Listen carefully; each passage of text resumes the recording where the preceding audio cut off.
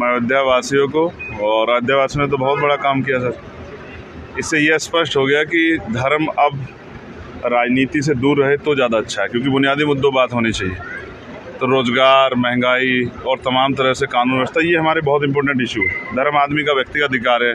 कोई किसी धर्म में आस्था रखे, कोई हिंदू धर्म में, कोई इस्लाम धर्म में, कोई सिख धर्म में, जैन धर्म में, ये राजनीति में ना लाए राजनीतिक लोग तो बहुत अच्छा होगा, जिससे जनता के मुद्दों पर बात हो जाएगी। मैं आपसे ये कहना चाहता हूँ कि पुलिस जो है और अर्धसैनिक बल, वो बहुत बुरी स्थिति में मैं उनके लिए चिंतित हूँ, क्योंकि मैंने महसूस किया मेरी रैलियों में कि वो जब हम अच्छे कूलर में बैठते थे ना तो वो गर्मी में खड़े रहते थे। खूब पसीना बहता था और उनको छुट्टी के लिए बहुत सारी परेशानियों का सामना करना पड़ता है। मेरी ये मांग है सरकार सर मैं पार्लियामेंट में इसको उठाने वाला हूँ कि उनको आठ घंटे की ड्यूटी की जाए पुलिस की।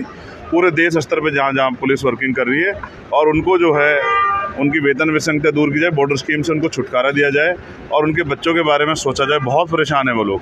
अगर हम नहीं सोचेंगे तो कौन सोचेगा? तो हमारी ज़िम्मेदारी है मैं स्पेशली उत्तर प्रदेश के मुख्यमंत्री से कहूँगा उन पर पावर है वो करें। पुलिस की आठ घंटे की ड्यूटी करें उनको सप्ताह में एक दिन छुट्टी दें उनकी वेतन विसंगता दूर करें और बॉर्डर स्कीम खत्म करके उनको उनके परिवार के बीच जाने दें वो भी इंसान आप बताइए। नहीं अग्निवीर के हम लोग अगेंस्ट है शुरू से ही भाई।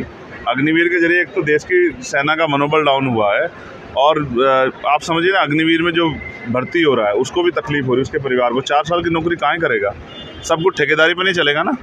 इसके लिए समझना पड़ेगा और सरकार इस पर गंभीर रहे तो बहुत अच्छा है। नीट को लेकर के जो अभी निर्णय नीट अभी मैं उम्मीद करता हूँ कि सरकार फिर मान जाएगी वरना एक बहुत बड़ा आंदोलन हम लोग दिल्ली में करेंगे और देश भर के स्तर पर करेंगे। हम बच्चों के साथ खड़े हैं किसी भी तरह की परीक्षा में कोई भी धोखा नहीं होना चाहिए। ये धोखा है और इसकी जाँच और जाँच दोषियों पे सख्त कार्रवाई। अयोध्या में अयोध्या से सर अयोध्या से यूपी पुलिस का जो है आउटसोर्सिंग का वो भर्ती का वो लीक हुआ उसके बाद मैं फिर स्पष्ट कर रहा हूँ सरकार कोई भी ऐसा कदम उठाएगी जो अनकॉन्स्टिट्यूशनल होगा हम उसके खिलाफ लड़ेंगे। देखिए इस बात को समझिए ये एक रिस्पॉन्सिबिलिटी है नौकरी नहीं है रिस्पॉन्सिबिलिटी है।